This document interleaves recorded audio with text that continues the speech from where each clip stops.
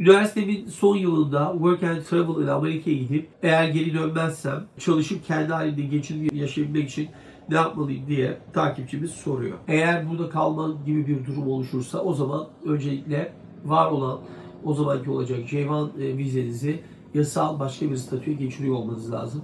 Bu yasal statüye geçirdikten sonra burada yasal durumunuzu bozmadan kalabilmeniz gerekiyor. Eğer bu noktada bir iş yeri size sponsor olmak isterse o zaman o iş yeri üzerinden size yeşil kartla ilgili e, çalışmalar yapılıp o süreci tamamlıyor olmanız gerekecektir. Dolayısıyla bunlar yapıldıktan sonra siz e, gerekli şekilde yasallığınızı da koruyup e, Amerika'da kalabileceğiniz iş yeri üzerinden ya çalışma vizesi ya da yeşil karta geçme durumunuz olacaktır deyip bu takipçimizin sorusunu cevaplamış olalım.